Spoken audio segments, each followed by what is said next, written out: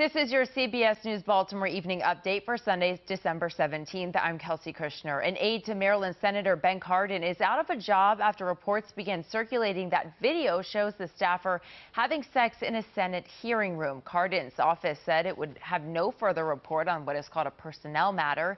In a post on LinkedIn in late Friday, that staffer did not confirm he's shown in the video, but did acknowledge, quote, a difficult time for me.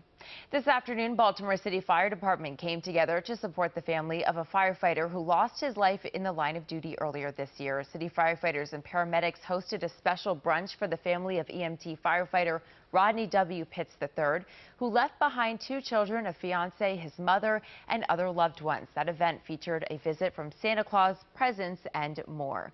Pitts and firefighter Dillon Rinaldo died after fighting a two-alarm house fire on Linden Heights Avenue in northwest Baltimore back in October.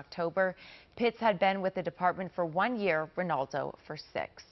We're just eight short days from Christmas, and this week we could see a record number of air travelers for the holidays. AAA says it's expecting 104 million people to drive to their destination with a record 7.5 million flying. And the busiest expected travel days are predicted to be Wednesday and Thursday as workers use maximize time off leaving earlier and staying later. And that's your evening update for CBS News Baltimore. I'm Kelsey Kushner.